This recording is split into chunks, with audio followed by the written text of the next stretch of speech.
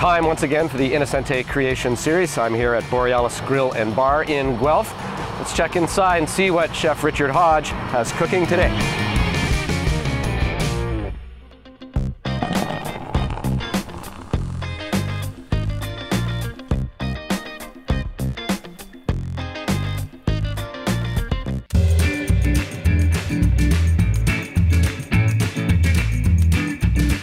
We're here with Chef Richard Hodge. He's the chef de cuisine at Borealis Grill located on Gordon Street in Guelph.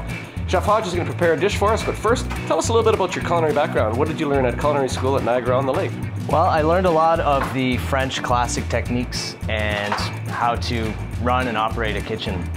But more extensively, you also went to Indonesia and you learned quite a bit there too. Absolutely. So there I learned the importance of sweet and salty and sour and spicy and how that plays a role in, in food and how it's going to affect our dish today.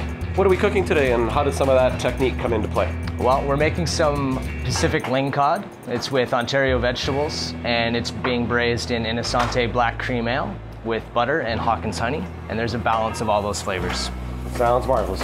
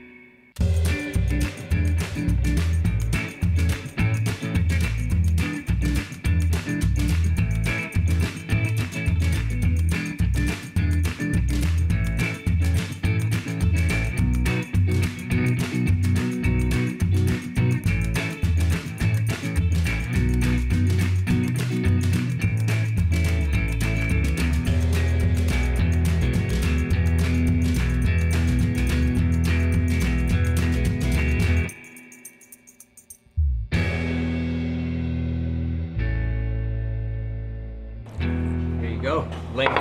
Ontario purple potatoes, and rapini. Thank you, Chef Hodge. Thank you. A beautiful plate, uh, nice height, great presentation, and I think the colors here really set this this off. And what better color to have it with than a, a cream ale that's light in flavor and very refreshing. I think it's going to go perfectly with this lovely piece of fish. Let's get some of those crispy bits, a little bit of the Elmira tomato. Mm. A nice balance of flavors, great balance of textures as well. Delicious.